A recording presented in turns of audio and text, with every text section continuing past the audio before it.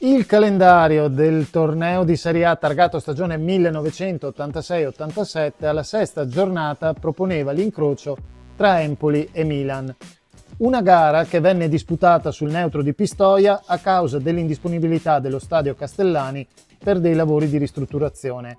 I rossoneri di Nils Lidon condussero una sfida a senso unico contro i toscani di Salvemini e lo 0-3 finale fu firmato da Daniele Massaro Franco Baresi su calcio di rigore e Pietro Paolo Virdis che al novantesimo minuto inventò un gol bellissimo, partendo dalla sua metà campo, saltando in slalom un paio di empolesi per poi superare il portiere Drago in uscita con un pallonetto. La gran galoppata del bomber chiuse il match e fu contornata dall'ovazione di oltre 10.000 milanisti giunti in quel di Pistoia per seguire la squadra.